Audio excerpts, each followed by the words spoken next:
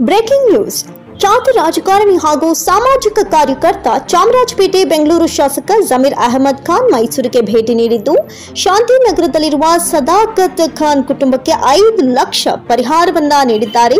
ಇದು ನಿಜಕ್ಕೂ ಮಾನವೀಯತೆಗಾಗಿ ಚಾಮರಾಜಪೇಟೆ ಶಾಸಕ ಜಮೀರ್ ಅಹಮದ್ ಖಾನ್ ಮಾಡಿರುವ ಕೆಲಸವಾಗಿದೆ.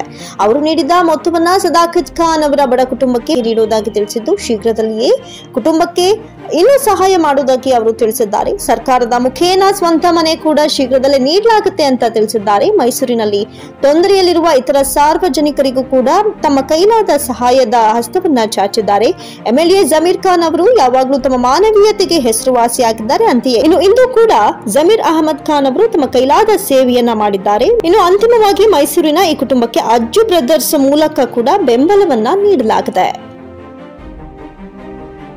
अभी दो दो सीनियरिटी रहती वो सीनियरिटी को आज तब तक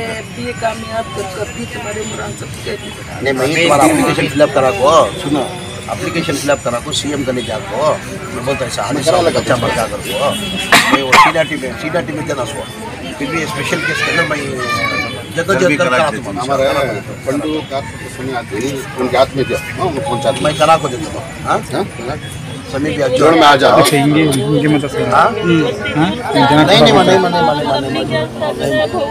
फ़ोन में बात कर रहा था मैं बात कर रहा था। फ़ोन में बात करे थे ना फ़ोन में बात कर रहा था। मैं करा तो समाज एप्लीकेशन फिलअप कर हाँ, करा दी, करा दी, फ़ोन चलो, दिला हाँ। एप्लीकेशन दिया तो मैं स्पेशल केस में किसमें दिलाता हूँ। या सोमना बहुत है, पास है। सही हाँ, जी ज़्यादा साहब पीछे आता वो। सोमना बहुत पास मैं करा को दे तुम्हारा। नहीं को तो भी अब सीनियरिटी आती तुम्हारी नेक्स्ट हमारी गवर्नमेंट आती। इंशाल्लाह सितरा मैच बनती मैं करा मैं करा को दुआ करो मैं इंशाल्लाह ये ये ज़िम्मेदारी ले लो मेरे भाई आपको ताजुद में ज़रूर नमाज़ इस्लाम साहब पिछले दिनों अजय भाई आकर यहाँ पर वादा कर रहे थे उनकी सशक्ति माँ का वादा किया गया था उनकी तरफ़ से पचास हज़ार और दीगर कई लोगों की जानी से मदद की गई है। आप आने का यहाँ पे वादा पहले ही हो चुका था आज आप आए हैं। क्या कहेंगे सर आप? नहीं इस तारीख छः तारीख को जो हादिसा हुआ आप तो अच्छी तरह से जानते हैं। एक मासूम बच्चा, एक दोस्तों के बीच में जाके तू तू मई होके, उसका मर्डर होके स्पॉट में उसका इंतकाल हो गया, आप लोग अच्छी तरह जानते हैं। बाद में दो दिन के बाद हमारे अज्जू इधर इनके घर पे पहुँच के इनकी हालत देख के मेरे को फ़ोन करके बताया कि भाई एक ही लड़का था उनकी वो माँ भी बीड़ी बीड़ी के काम को जाती थी भाड़े के घर में गुजरान चलना मुश्किल है वो एक ही बच्चा देखता था। करके अज्जू बताने के बाद उनसे वादा किया था मैं एक दो तीन दिन छोड़ के आता हूँ करके। इधर आके देखने के बाद हालत जैसा कि इधर के लोकल कॉर्पोरेटर पंडू है हमारे बशीर है हमारे बोर्ड के चेयरमैन चेयरमैन अक्रम साहब है। अज्जू सलीम सब मिल के हम लोग इनकी हालत मालूम होने के बाद मेरी तरफ़ से एक भोग्यम का घर डालना करके पाँच लाख रुपए दिया। अभी वो बच्चे को तो हज़ार करोड़ देंगे तो बच्चे को ला सकते नहीं हम।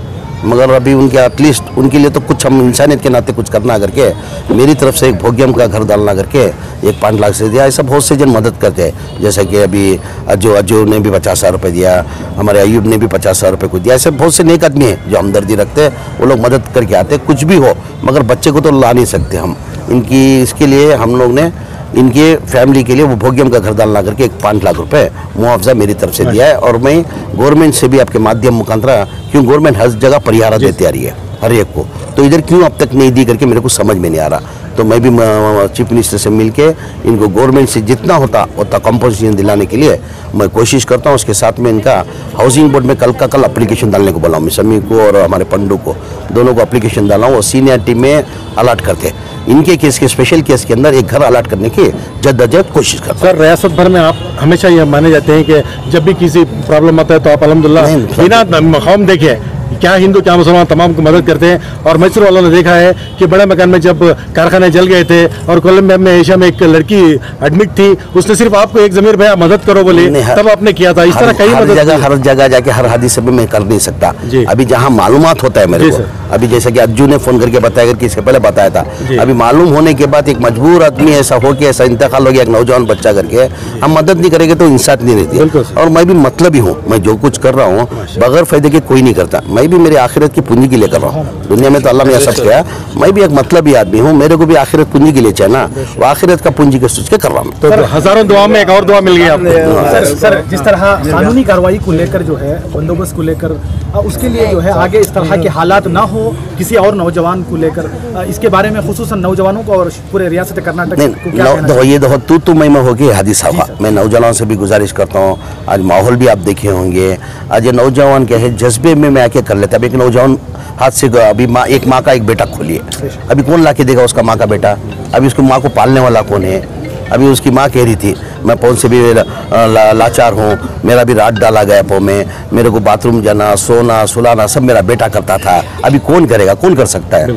तो मैं नौजवानों से आजीजना गुजारिश करता हूँ ये चीज़ से थोड़ा पाबंदी करें। थोड़ा होश संभाल के काम करें।